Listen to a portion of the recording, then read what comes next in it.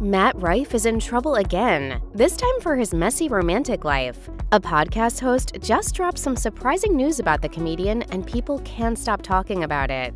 For the most part, Matt Rife has kept his love life out of the spotlight. According to page 6, only three of his relationships have been made public. In 2017, the comedian was briefly connected to A list actor Kate Beckinsale. However, their relationship didn't seem to end on a good note. When TMZ asked Rife to give advice to Pete Davidson, who was seeing the underworld actor at the time, he had some harsh comments. Rife told his fellow comedian to run.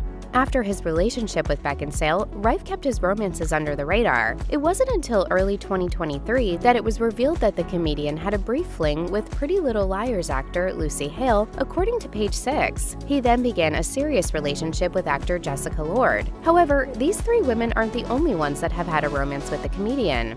For months, podcaster Brooke Schofield teased a relationship she had on the canceled with Tana Mongeau podcast, which she co hosts. However, she never revealed the mystery man's name, only referring to him as Mr. DC. That said, many speculated Schofield was hooking up with Rife because she would leave comments on TikTok about him. It's also interesting to note that back in June of 2023, Rife was a guest on Schofield's podcast, but neither Schofield nor Rife ever confirmed any of the dating rumors. Until now. For context, Mr. DC is Matt Rife. The podcast host, who had briefly come to Rife's defense following all the backlash, is now part of the reason he's in the middle of this controversy. I wake up every single day somebody tries to cancel me. So Absolutely. Try your the thing I feel like During her podcast, Schofield revealed that she was tagged in the comments section of a TikTok that showed photos of Rife with another girl. After reading the comments, it was discovered those photos were taken in early 2023. Schofield decided to DM the creator because she had been dating Rife at the beginning of 2023, although she admits that their relationship was never serious. The creator immediately put her in a group chat with other women.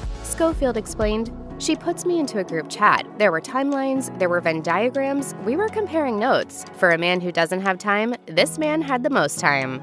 It was through the chat that Schofield discovered that Rife had been dating multiple women at the same time. After learning about the comedian's infidelity, Schofield decided to give Rife the benefit of the doubt, so she texted Rife to ask him about everything she found out. However, Schofield was in for a big surprise. The podcast host shared, I want to get my facts straight, and I wasn't even rude. I just sent him a text, and I was like, How embarrassing is it that I'm literally currently getting dragged for defending you while also in a group chat with seven other girlfriends you had? And he blocked my number.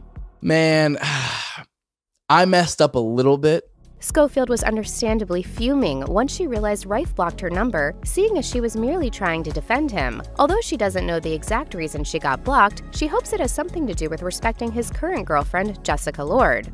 Still, even if he did block her number out of respect for Lord, Schofield continued to call him out on the podcast for following porn stars on social media. She even suggested he unfollow them if he really wanted to respect his girlfriend. While Rife has yet to respond, the hate train against the comedian has only gotten bigger since Schofield's shocking confessions.